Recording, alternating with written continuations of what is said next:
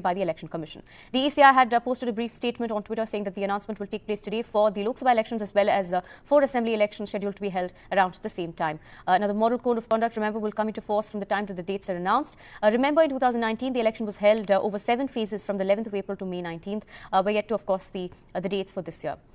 Now, uh, in fact, talking about the election dates that are going to be announced of a developed India. I have my colleague uh, Aishwarya Jain joining us uh, from outside uh, the Election Commission office in New Delhi. Uh, I also have my colleague uh, Uma joining us from Hyderabad. Thank you for joining. Prime Minister Modi, in fact, has uh, has penned an open letter. He's recapped his tenure. Take us to what exactly he shared. Minister had shared, uh, and this letter clearly states about the achievements of government, which uh, uh, in, in during the NDA government that has been for the last 10 years. Really, uh, Prime Minister had uh, remembered about the uh, demonetization era, also about uh, you know the transformation that has taken place in the last 10 years, as far as the transformation outcomes of the results of the sincere efforts made by the government to to better the life of quality of the poor as well as farmers, youth, and women.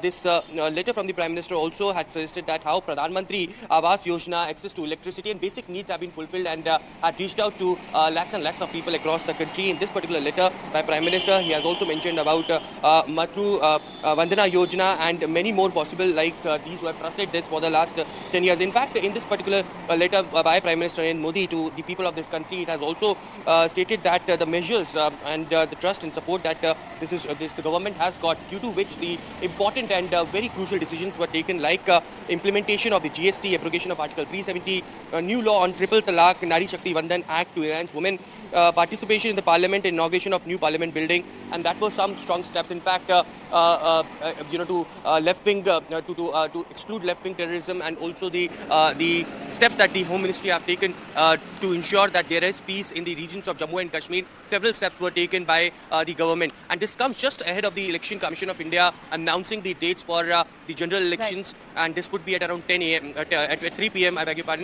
On the other side, we have seen that how a national survey was also done by the ECI, and uh, last week only they have accessed the security assessment of Jammu and Kashmir, where we are hoping that uh, with the Lok Sabha polls, there are several state assemblies as well which will go into I'm also being joined by Uma. Uma, now Telangana and Andhra Pradesh are in fact seeing interesting fights this time around. Elections as well as the assembly elections uh, in some states including Andhra Pradesh, Odisha and Arunachal Pradesh. Uh, what we are uh, seeing is the Prime Minister's letter and always we have seen Prime Minister Modi come up with something new to be able to attract the attention of the people. Yesterday of course he was uh, in Telangana in the evening uh, roadshow, 1.3 kilometer roadshow that he conducted uh, in Malkajgiri and uh, uh, at the end of it he in fact did not uh, uh, uh, address any uh, public meeting because it also happened Must, I must say on a day of quite a dramatic development here, quite an important development here politically of uh, Kavitha's arrest, the daughter of uh, former Chief Minister KCR. What Prime Minister Narendra Modi is doing here is to give that big push uh, in these elections. We have seen that the BJP is giving a huge south push, and in that Telangana they see a big opportunity uh, with the BRS now suffering a huge setback as well.